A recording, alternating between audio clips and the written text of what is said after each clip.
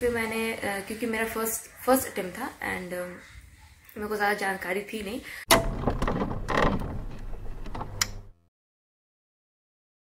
मतिका है।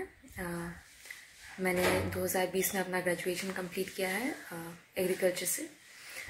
एंड मैंने उसी साल आई पी पी एस का भी फॉर्म भरा था तो मैंने उसका प्री मेंस एंड फिर इंटरव्यू क्वालिफाई करा है। तो मैं आज इस वीडियो में आपको आ, अपना एक्सपीरियंस एंड जो मेरे को लगता है कि मुझसे कमियाँ रह गई हैं मैं चाहूँगी कि वो उन सब के बारे में आपसे बात कर पाऊँ। मेरे को बहुत लोग बहुत से लोग पूछते हैं तो मैं हर किसी को बता नहीं पाती हूँ। तो उस सेम आउटपुट के साथ तो मैं कोशिश करूँगी कि जिन लोगों ने मुझे पूछा है या जिन लोगों को उत्सुकता है जानने की या तैयारी करने वाले हैं उनको ये वीडियो काम आए एंड अपनी उनकी जो भी स्ट्रैटेजी है वो बनाने में उनको हेल्पफुल हो। तो स्टार्ट करूँगी मैं अपना जर्नी से। मैंने अक्टूबर से अपना प्रिपरेशन स्टार्ट किया था। इसका का एग्ज़ाम होता है दिसंबर में। तो मेरे पास करीब ढाई से तीन महीने थे प्रिपरेशन के लिए। तो फिर मैंने सबसे पहले इस एग्ज़ाम के बारे में जानकारी निकाली। क्योंकि हम लोग को ग्रेजुएशन ईयर्स में उतना बैंकिंग एग्ज़ाम्स का बहुत सारे लोगों को आइडिया नहीं रहता है या आइडिया रहता भी है तो उसकी तैयारी कैसे करें? इस चीज़ का आइडिया नहीं रहता। है तो फिर मैंने क्योंकि मेरा फ़र्स्ट फ़र्स्ट अटेम्प्ट था एंड मेरे को ज़्यादा जानकारी थी नहीं। तो मैंने सबसे पहले उसका उस के बारे में रिसर्च किया कि ये जॉब है क्या एंड इसके क्वेश्चन किस तरह के आते हैं एंड पैटर्न क्या रहता है। तो मैंने सबसे पहले इसका सिलेबस निकाल लिया। सिलेबस निकालने के बाद क्योंकि मेरे पास बहुत कम टाइम था तो मेरे पास इतना टाइम नहीं था कि मैं बहुत लैक के साथ चल सकूँ। इसलिए मैंने कोशिश की कि मैं एक अच्छा स्ट्रैटेजी बना सकूँ एंड जो मेरे लिए अच्छी हो एंड उसको कॉन्सिस्टेंटली मैं फॉलो कर पाऊँ। तो मैंने सबसे पहले इसका सिलेबस निकाल लिया फिर अपने रूम में मेरा रूम में एक बोर्ड है तो मैंने उसमें उस सिलेबस को लिख दिया। तो अगर आप भी एक चीज़ करते तो अच्छा रहेगा बिकॉज़ इससे क्या हुआ कि मेरे को कॉन्सिस्टेंसी मेंटेन करने में बहुत हेल्पफुल हुआ। तो इससे मैं क्या होता था कि मैंने आ, मैं जैसे जैसे टॉपिक्स कंप्लीट करती थी तो मैं उन्हें स्ट्राइक आउट करते जाती थी। तो मेरे को एक कंसिस्टेंसी प्लस मेरे को अपना एक पीरियडिक चेक मेंटेन करने में इजी रहता था। फिर ऐसे मैंने तीनों सब्जेक्ट्स के quantitative aptitude reasoning and English के सिलेबस निकाल लिए एंड फिर मैंने टॉपिक वाइज पढ़ना स्टार्ट किया। फिर मैंने स्टार्ट किया। फिर मैंने इसके लिए कोई कोचिंग टू भी स्पेसिफिक ऐसा नहीं ली थी बिकॉज़ मेरे को ऐसा लगा कि कोई सर्टेन uh, सब्सक्रिप्शन या कोचिंग ले लेने से उसको ऑब्वियसली फिर वहाँ के जो टीचर्स या फैकल्टी है उसको आपको अपने हिसाब से उन लोग uh, लेना चाहेंगे and this take I wanted to take it for myself मेरे को एक भरोसा था कि मैं ये चीज़ कर सकती हूँ। तो फिर मैंने प्रिफर नहीं किया। मैं क्या करती थी, मैं टॉपिक वाइज मैंने पढ़ना स्टार्ट किया। उसके बाद इन सब टॉपिक्स के लिए मैंने मेनली यूट्यूब से पढ़ाई करी है अपनी। मुझे यूट्यूब के स्टडी मटेरियल्स लाइक काफ़ी अच्छे लगे। इट्स फ्री ऑफ़ कॉस्ट आप भी देख सकते हो। फिर उसके साथ साथ मैंने एक अरियन पब्लिकेशन की फास्ट ट्रैक अरिथमेटिक करके आती है, क्योंकि मेरे को अभी स्क्रैच से स्टार्ट करना था। मैं बीच में पूरा मैं पीसीएमबी की स्टूडेंट रही हूँ, लेकिन कॉलेज ईयर्स में हम लोग का जो है, इतना टाइम नहीं मिलता है कि आप उतना ब्रशअप कर पाओ। तो it was like starting from scratch तो मैंने इसलिए बेसिक्स एंड कंसेप्चुअल पे ज़्यादा ध्यान दिया। उसके बाद में सिंगल टॉपिक एक दिन में एक टॉपिक या दो दिन में एक टॉपिक अगर बड़ा हो तो कंप्लीट कर लेती थी। उसके बाद जितना हो सके मैंने कोशिश करा कि आ, मैं प्रैक्टिस क्वेश्चन पेपर्स लगा सकूँ। सबसे इम्पोर्टेंट चीज़ मैंने करी थी कि मैंने क्वेश्चन पेपर्स जितने आ, हो सके थे क्वेश्चन पेपर्स मैंने आ, निकाल लिए थे एस ओ के एंड पीओ के भी। क्योंकि पीओ एस पीओ का भी अगर आप क्वेश्चन पेपर प्रैक्टिस करते हैं is I think good because लगभग लगभग क्वेश्चन पैटर्न क्योंकि आईबीपीएस कंडक्ट करती है तो वो लगभग लगभग ज़्यादा डिफर नहीं करता है। तो आपको काफ़ी हद तक आइडिया लग जाता है कि किस लेवल तक का पेपर आया है और आ सकता है बिकॉज़ आप क्वेश्चन पेपर अगर सॉल्व करोगे तो जो प्रीवियस ईयर के क्वेश्चन पेपर से या तो उससे इजी होंगे जो भी आएगा क्वेश्चन पेपर या तो उससे इजी होगा, या उससे एक या दो लेवल टफ ही जाएगा, उससे ज़्यादा हो जाएगा नहीं। तो मैंने S O N P O के क्वेश्चन पेपर सॉल्व किए। उसके बाद आ, मैंने अपना एनालिसिस किया कि मेरा स्ट्रेंथ क्या है वीकनेस क्या है कहाँ मुझे मेहनत करनी पड़ेगी एंड कहाँ मैं लैग हो रही हूँ। तो उस हिसाब से मैंने एक अपना स्ट्रैटेजी तैयार की। मैंने बहुत लोगों का यूट्यूब में इंटरव्यू एंड एक्सपीरियंस देखा था। तो उस हिसाब से ये तो क्लियर था कि जो क्वेश्चन पेपर है वो कभी बहुत टफ तो नहीं जाता है। प्री में वो इजी से moderate moderate level of tough रहता है। तो ऐसे मैंने अपने प्री की तैयारी करी। उसके बाद मैं हाँ कौन कौन से चैनल्स या फॉलो करती थी मैं? रही बात चैनल्स की या टीचर्स की तो मैंने कोई एक सर्टेन चैनल का सब्सक्रिप्शन इसलिए नहीं लिया क्योंकि मैंने चीज़ नोटिस करी थी वीडियोस देख के कि कुछ टीचर्स जो है वो एक सर्टेन कुछ टॉपिक्स दो तीन टॉपिक्स को बहुत अच्छे से बता देते हैं, लेकिन ऐसा नहीं होता है कि एक टीचर हर सब्जेक्ट को उतने ही अच्छे से ले पाता है या आपको समझ में आए, ज़रूरी नहीं है। सबका लेवल ऑफ़ कैचिंग अलग होता है। तो फिर मैंने उसके लिए फिर मेरे कन्वीनियंस के हिसाब से मुझे जिसका समझ में आता था, मैं वैसे वैसे टैकल करती थी ऑन यूट्यूब एंड फिर वैसे मैंने अपना कंसेप्ट पूरा क्लियर किया। फिर एक टॉपिक के बाद मैं अपना जो भी है प्रैक्टिस जितना हो सकता था प्रैक्टिस मैंने किया एंड क्योंकि मेरे पास बहुत टाइम था अगर आप पूछना स्टडी आवर्स का, क्योंकि मेरे पास बहुत कम टाइम था तो मैंने अपने आपको लाइक बाँध के नहीं रखा था it was a short time तो मैंने उस दौरान अपने सारे एक्टिविटीज़ बंद कर दिए थे ऑब्वियसली पेंडेमिक का भी समय था तो फिर मैंने सारे एक्टिविटीज़ बंद कर दिए थे, जितना हो सकता था मैं दिन भर में मतलब अपना जितना आवर्स हो सकता था मैं कोशिश करती थी कि मैं कुछ ना कुछ एंगेज रहूँ या तो वीडियो देख लूँ या अगर मेरा मूड फ्रेश है तो मैं पढ़ाई कर लेती थी प्रैक्टिस कर लेती थी। तो ऐसे मैंने अपने सारे सब्जेक्ट्स कंप्लीट किए। और इंग्लिश क्योंकि मेरा स्ट्रांग था तो मैंने इंग्लिश में फोकस थोड़ा कम दिया तो इसकी वजह से मेरे को दोनों सब्जेक्ट्स के लिए ज़्यादा टाइम मिल गया। और ऐसा मेरा प्री का एग्ज़ाम क्लियर हुआ एंड uh, दो हफ्तों में करीब इसका रिज़ल्ट निकल गया था। फिर उसके बाद uh, सबसे बड़ी गलती मैं मानूँगी कि मैंने मीन्स की तैयारी पहले से नहीं स्टार्ट करी थी और इस चीज़ का मलाल मुझे बाद में हुआ और मैंने uh, जब प्री का रिज़ल्ट निकला था तो मैंने उसके जस्ट um, बाद पेनड्राइव कोर्स ले लिया था ऑनलाइन वेबसाइट से। एंड uh, आप चाहे तो आप भी ले सकते हो। I think it's very very helpful अगर आपको अच्छा स्टडी मटेरियल मिल जाए बिकॉज़ जो आप ग्रेजुएशन ईयर्स में पढ़ते हो या पोस्ट ग्रेजुएशन ईयर्स में पढ़ते हो एंड uh, जो क्वेश्चंस आते हैं बहुत लोग ये चीज़ ये गलती कर देते हैं जूनियर्स जैसे कि या फिर इवन मेरे बैचमेट्स कि वो जेआरएफ का जो तैयारी होता है आप जानते होंगे जेआरएफ की तैयारी हिसाब से वो एग्ज़ाम देने जाते हैं एंड ये चीज़ कभी भी हेल्पफुल नहीं होगी बिकॉज़ पेपर का लेवल एंड पेपर का पैटर्न अलग रहता है। जेआरएफ का पैटर्न अलग है एंड कंपटीशन लेवल्स में जो क्वेश्चन आते हैं एग्रीकल्चर के उसका पैटर्न अलग है। तो प्लीज़ उसी हिसाब से आप मेन्स का पेपर तैयार करिएगा एंड हाँ सिलेबस मेन्स का भी प्लीज़ आप याद से निकाल लीजिएगा और सिलेबस वाइज ही पढ़िएगा, क्योंकि उसमें कुछ एक्स्ट्रा टॉपिक्स हैं। जैसे कि स्कीम्स हुआ पब्लिकेशंस हुआ अवार्ड्स हुआ एंड करंट अफेयर्स हुआ एग्रीकल्चर के, या जो भी न्यूज़ हुआ एग्ज़ाम से रिलेटेड तो ये सब चीज़ के लिए आपको थोड़ा सा अवेयर रहना होगा।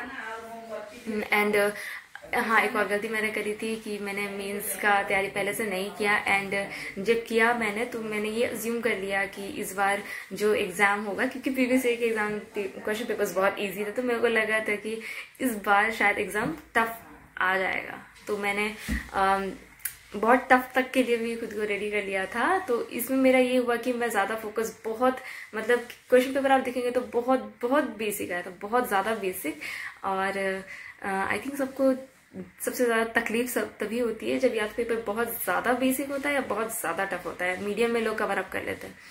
तो इस बार क्वेश्चन पेपर बहुत ज़्यादा बेसिक आया था तो इससे दिक्कत ये हुआ था बहुतों को कि थोड़ा क्वेश्चन पेपर ट्रिकी था। तो ऐसा हुआ, ऐसा रहा कि हमने पढ़ाई तो करी थी बट जो बेसिक से कभी कभी छूट जाते हैं। भले ही हमने हमें वो चीज़ at the back of the head याद है लेकिन जब क्वेश्चन में हम लोग देखते हैं तो वो चीज़ थोड़ा सा कंफ्यूज कर जाती है क्योंकि एग्ज़ाम का माहौल है तो दिमाग भी वैसे ही कॉन्शियस रहता है या कुछ लोगों का पैनिक भी रहता है। तो आ, मैंने भी आ, क्योंकि मैंने पेपर दो तीन बार रिव्यू कर दिया था साठ मिनट का टाइम रहता है और ये टाइम मेरे बहुत ज़्यादा था क्योंकि मेरे को स्पीड का इशू नहीं है। मैंने बहुत जल्दी अपना मेन्स का पेपर तुरंत तुरंत कर लिया था। आप किसी से मत करिएगा। आप कोशिश करिए कि जितना टाइम आप अच्छे से दे सके ध्यान से करिए पेपर एक ही बार करिए या दूसरी बार बस बस रिव्यू करिए। लेकिन प्लीज़ बार बार रिव्यू मत करिएगा। ऐसे आपका आ, मन ज़रूर कहेगा कि हाँ चलो ये क्वेश्चन में भी ये हो सकता है। ऐसे हाँ ना हाँ ना करते करते में आप कुछ क्वेश्चन आप गलत कर ही दोगे जो मैंने भी किया। तो प्लीज़ आप ये चीज़ मत करिएगा। एंड ये हुआ मेरा मेन्स का पेपर एंड रहा उसके बाद इंटरव्यू रिज़ल्ट निकलने के बाद हम लोग को इंटरव्यू का डेट भी इंटीमेशन आ गया था मेल पे. तो अब रहा बात इंटरव्यू की तैयारी का. तो मैंने ये चीज़ बहुत ढूंढी हर जगह या लोगों से कनेक्ट करने की कोशिश की. तो मेरे को इंटरव्यू को कुछ स्टडी मटेरियल या वैसे कुछ इन स्पेसिफिक मेरे को ऐसा कुछ पता नहीं चला कि क्या पूछते होंगे या कैसा रहता है. तो फिर आ, मैंने इंटरव्यू के लिए क्या किया? अपने मेंस का जो मैंने पढ़ा हुआ था उसको मैंने और आ, अच्छे से पढ़ा। एंड ब्रीफली उसमें डिटेल्स ऐड करके भी पढ़ा कि क्योंकि मान लीजिए कुछ क्योंकि मान लीजिए आपने जो पढ़ा है आ, अगर उससे रिलेटेड कुछ करंट अफेयर्स पूछ दिया उसी टॉपिक से रिलेटेड क्योंकि आप इंटरव्यू पैनल में आप एक्सपेक्ट नहीं कर सकते कि आपको क्या पूछ सकता है। कुछ भी पूछ सकता है। एंड इस तरह से मैंने अपना मेंस का स्टडी मटेरियल फिर से अच्छे से किया दोबारा किया। एंड करंट अफेयर्स कर लिया और आप आपको मेन चीज़ ये ध्यान रखना होगा कि आपको जीके टेस्ट नहीं लिया जा रहा है। You have to be more aware आपका अवेयरनेस एंड आपका पर्सनैलिटी आपका कॉन्फिडेंस ये सब ट्रेड्स जो कि उन लोग देखेंगे, उनको जो चीज़ अपने जॉब प्रोफ़ाइल में चाहिए रहता है। तो इसी हिसाब से मैंने तो खुद को तैयार करके रखा था कि मान लीजिए अगर मेरे कॉलेज के बारे में पूछता है, मेरे एजुकेशन के बारे में पूछता है, या क्योंकि मेरा अर्ली बैकग्राउंड बोला जाता है was born and brought up in north east तो मैंने उस हिसाब से नॉर्थ ईस्ट के बारे में भी, जिस स्टेट से मैं, जिस स्टेट में मैं रही हूँ, मैंने सब चीज़ तैयारी करके रखी थी just in case for bad days and तो इसी हिसाब से मैंने अपने तैयारी करी। एंड इंटरव्यू का दिन था। इंटरव्यू के दिन बहुत सबसे ज़्यादा ज़रूरी आई थिंक रहता है कि बहुत काम रहना। बिकॉज़ जहाँ आप नर्वस होते हो तो आप नहीं गड़बड़ करने वाली चीज़ों में भी गड़बड़ कर देते हैं। एंड जैसे आपका परफॉर्मेंस नॉर्मली रहेगा, उससे आप फिर उतना अच्छा परफॉर्म नहीं कर पाएँगे। और ये चीज़ इंटरव्यू के दिन या इंटरव्यू के लिए बहुत ख़राब है आई थिंक क्योंकि मेरा एक्सपीरियंस है, मैंने कुछ लोगों को वहाँ पे देखा था। ऐसा नहीं है कि आ, कोई यहाँ पे वहाँ पे उस रूम में खराब था। हर कोई प्रियन मीन्स क्वालिफाई करके आया था बट डिफरेंस ये क्रिएट करता है कि आपका इंटरव्यू कैसा जाता है एंड आप किस तरह से परफॉर्म करते हो अपने इंटरव्यू में। एंड uh, मेरे को टू भी स्पेसिफिक पूछा गया था uh, जिस स्टेट में मैं रही हूँ वहाँ का कल्चरल फिर वहाँ का पॉलिटिकल सिनेरियो भी पूछ दिया गया था एक कल्चरल क्वेश्चंस पूछ दिए थे। जब मैंने अपने इंट्रोडक्शन में बताया था कि I have been I was born and brought up in this state then they were very interested and उन पैनल मेंबर्स जो थे उन्होंने मेरा सो टू से काफ़ी सारे क्वेश्चंस मेरे को पूछे थे। Maybe it was most probably it was to check my general awareness of that state क्योंकि बहुत साल हो गए कि मैंने वो स्टेट अभी छोड़ दिया है। uh, मैं अभी अपने होम स्टेट में हूँ। तो फिर ऐसे मेरे को बहुत सारे क्वेश्चंस उस स्टेट से रिलेटेड पूछे गए फिर मेरे एजुकेशन से पूछे गए फिर मेरा overview about few topics and few things पूछा गया फिर uh, मुझे बैंकिंग के कुछ टर्म्स पूछे गए एंड uh, मेरा अंडरस्टैंडिंग चेक किया गया। और uh, मेरा इंटरव्यू आई थिंक काफ़ी मेरा इंटरव्यू काफ़ी अच्छा रहा। I was not nervous and मैंने सारे क्वेश्चंस कॉन्फिडेंटली आंसर किए। It was it was more like a discussion तो प्लीज़ अगर आप ये वीडियो देख रहे हैं, आप तैयारी कर रहे हैं तो ये ज़रूर ध्यान में रखिए क्योंकि आपको इंटरव्यू में बहुत नर्वस या पैनिक होकर नहीं घुसना है। इंटरव्यूअर जो है, वो आपको फेल करने के लिए एग्ज़ाम नहीं ले रहा है, वो आपको देखने, आपको परखने के लिए आपसे बात कर रहा है और जो इंटरव्यू पैनल रहता है मेरे इंटरव्यू पैनल में मेरा इंटरव्यू पैनल जो है, मेरा इंटरव्यू क्या आई थिंक हर जो भी एग्ज़ाम्स आईबीपीएस कंडक्ट करता है उसका जो इंटरव्यू रहता है भले वो क्लर्क हो पीओ या एसओ हो उसमें पैनल में एक साइकोलॉजिस्ट भी बैठा रहता है वो आपको पता नहीं चलेगा बट uh, क्योंकि मैंने काफ़ी रिसर्च करी हुई थी तो मुझे ये चीज़ पहले से पता थी और जो साइकोलॉजिस्ट uh, होता है वो ज़्यादा कुछ uh, वो यूजुअली या तो कुछ नहीं पूछेगा या तो पूछ भी देगा तो ज़्यादा कुछ इन डेप्थ नहीं पूछेगा बट वो all the all the while आपका इंटरव्यू जब चल रहा होगा तो वो आपको ज़रूर ऑब्ज़र्व करेगा आपको बॉडी लैंग्वेज आपको confidence the way you answer and everything तो uh, आप अगर नर्वस रहोगे या जो भी आपका जिस भी एटीट्यूड से आप इंटरव्यू uh, में बैठोगे वो ज़रूर पैनल मेंबर्स को रिफ्लेक्ट करेगा। तो आप प्लीज़ इस चीज़ का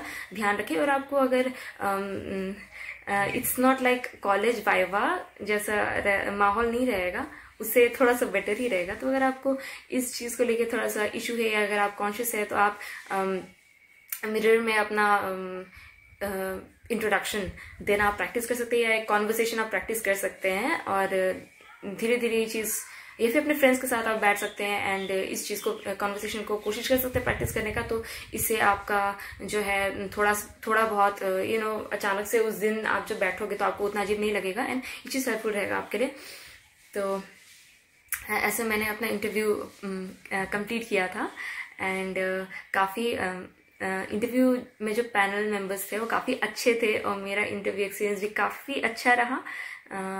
एंड ये था मेरा प्री का मीन्स का इंटरव्यू का पूरा जर्नी तो कुछ चीज़ें मैंने गलत करी, जैसे कि मैंने आपको बताया था, मैंने मेंस की तैयारी पहले से नहीं करी। प्लीज़ आप ऐसा मत करिएगा।